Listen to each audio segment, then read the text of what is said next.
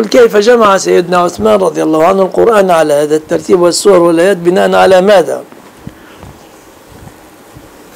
الصحابة اجتمعوا على ذلك بارك الله فيك ونحن مع اجتماع الصحابة رضي الله عنهم.